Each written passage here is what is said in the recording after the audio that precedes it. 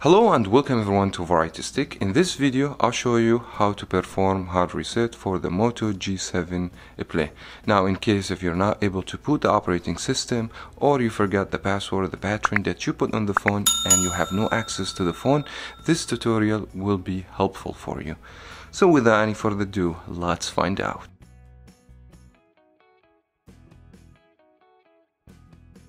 Now just before we go on, I want to make sure to explain two important things. Doing hard reset is similar to the factory reset, so you lose everything on the phone.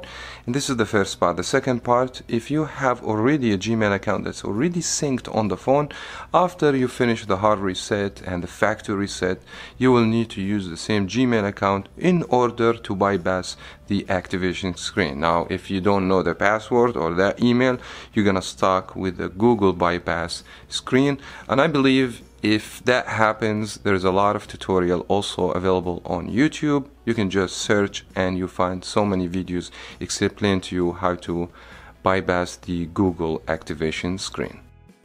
Now first step we need to turn the phone off completely. And luckily like a phone like the Moto G7 Play even if you have a password or pattern you should be able straight go to the power and power of the device. Some phones like Samsung, LG, actually that is not available for you, but in the Moto you don't have this problem. Now, once the phone is completely off, you will need to use the power key and the volume down.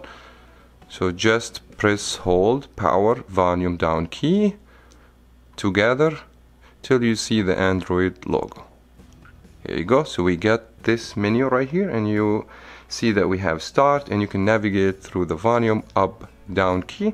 So we will need to go to recovery mode and then to select press the power key.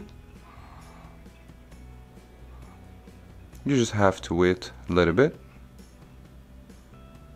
And that should take us to no command screen and also you're gonna see a broken Android logo.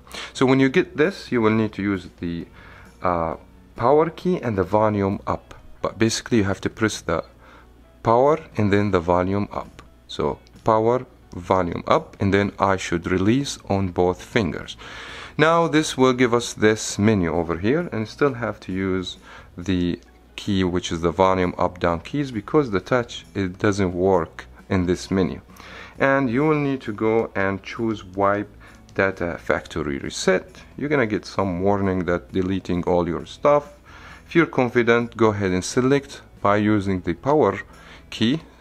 And then you're gonna get another message. Also you need to confirm and you have to highlight factory data reset. Go ahead and press the power. That should take a little bit now. You wait and then it should take us to reboot system now. All you have to do hit reboot system now. And then this processing might take three to five minutes to be completed and your phone is gonna go back as the first day you purchased the phone from the factory. That was very much it for this tutorial. If you find it helpful please give me a thumbs up and subscribe for more videos here on Varieties Teck.